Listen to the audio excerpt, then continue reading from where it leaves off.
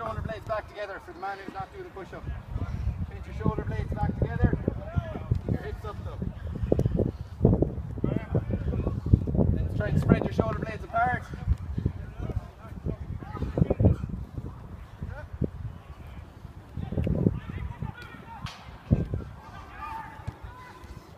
Right, balls back out to the wings again. Oh, Shane, look at that.